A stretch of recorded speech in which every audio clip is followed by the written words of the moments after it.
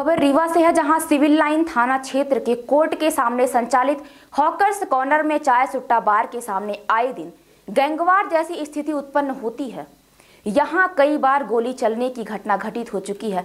इसके बावजूद पुलिस प्रशासन हाथ पर हाथ रख कर बैठा है। हालाँकि पुलिस प्रशासन मानता है कि व्यापारियों के दबाव के चलते पुलिस लगातार यहाँ पर जाँच पड़ताल नहीं कर पा रही है। दरअसल मामला सोमवार की शाम का है, जब सुट्टा बार के सामने एकत्र एक दर्जन युवकों के बीच कहा सुनी हुई और देखते ही देखते दोनों पक्षों से लोग तलवार, डंडों और पिस्टल के साथ पहुँच गए। इतना ही नहीं, दो हवाई फायर भी किए जहाँ दीवार में गोली लगी है। गनीमत रही कि गोली किसी व्यक्ति को नहीं लगी और बड़ी घटना टल गई है। घटना की जानकारी के बाद क्षेत्र में सनाका खिंच गया। आनंद फानन में पुलिस को सूचना दी गई तो मौके पर पहुँची पुलिस ने क्षेत्र में लगे सीसीटीवी कैमरों को खगाला है। हालाँकि पुलिस के द्वारा आधा दर्जन युवकों को चिन्हित किया गया है, जिनको पकड़ने के लिए टीमें गठित की गई है। आपको बता दें कि शहर भर में नशेड़ी सुट्टा बार के सामने एकत्र होते हैं, जहाँ आए दिन इस तरह की वारदातों को अंजाम देते हैं।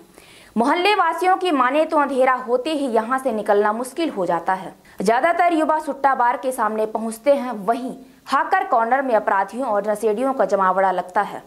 जहाँ नशे की हालत में आए दिन गोली चालन की घटनाएँ भी घटित होती हैं। पूरे मामले को लेकर एडिशनल एसपी शिव कुमार वर्मा ने कहा कि तीन युवकों की पहचान हो गई है। जिनको पकड़ने के लिए टीमें भेजी गई हैं, वहीं कुछ सीसीटीवी कैमरे में अन्य युवक भी कैद हैं, जिनकी शिनाख्त का प्रयास किया जा रहा है।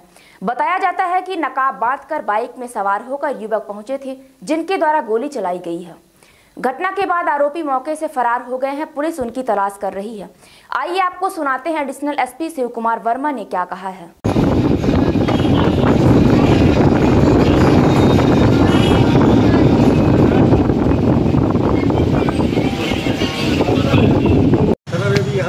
घटना हो गई है क्या घटना क्या है, अभी करीब आधे घंटे पहले जानकारी लगी थी यहाँ पर कि जो अपना चार सुट्टा बार वाला एरिया है, चौपाटी वाला एरिया है, यहाँ पर एक कोई व्यक्ति था, उसके पीछे कुछ लड़के आए थे, उसमें से तीन लड़कों की कुछ पहचान में हो गई, उनके नाम भी क्लियर हुए हैं, पुलिस पार्टियाँ चली गई हैं पकड़ दकड़ के लिए, और इसमें हवाई फायर टाइप का कुछ करने का प्रयास किया, डराने का प्रयास किया, ऐसा सम्मान, समझ में आया है, किसी को चोट नहीं लगी, अभी तक की जानकारी के आधार पर, पुलिस अपनी वैधानिक कार्रवाई कर रही है। सर यहाँ इसके पूर्व भी घटना हो चुकी है। एक बार यहाँ भीड़ भी लगती है क्या पुलिस हाँ निश्चित रूप से चौपाटी के एरिया जैसे आप देख रहे हैं महिलाएँ बच्चे सब सभी तरह के लोग आते हैं। इसका भीड़ का फ़ायदा उठा के हो सकता है क्रिमिनल टाइप के लोग भी आते हों।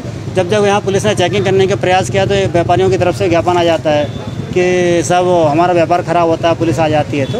लेकिन फिर भी पुलिस इसके बाद भी लगातार अभी यहाँ चेकिंग रखेगी और बदमाशों पर नज़र रखेगी और आवश्यक कार्रवाई करेगी। सर वजह क्या थी? क्यों अभी कुछ पता नहीं चला है। जब फरियादी मिल जाए कि क्या हुआ, उसके कारण क्या है, और उसके बाद जानकारी लग जाएगी तो पता बता देंगे आप।